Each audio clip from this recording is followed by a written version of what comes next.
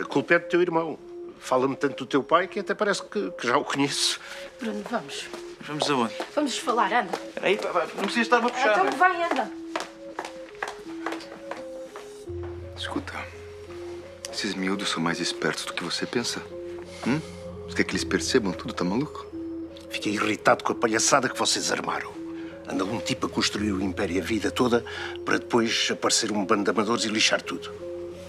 Isso não é verdade, Horácio. Claro que é.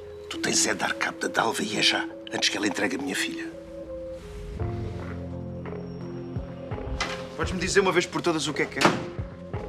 Tu estás maluco? A entregar os segredos da família a este homem? Isabel, eu já te disse, eu confio nele. Pois, mas não devias. Há quanto tempo é que o conheces? Não sei, mas ele já me deu provas que é meu amigo. Tu andas-te a meter por uns caminhos apertados, não Eu- tens o que é que estás para aí a dizer? Isabel, o que é que me estás a esconder? Nada. Fala. Bruno, se eu te contar o que sei, tu vais passar ao... Bem, Isabel, fala, se faz favor. O verdadeiro líder da rede era o pai. A mãe só entrou depois.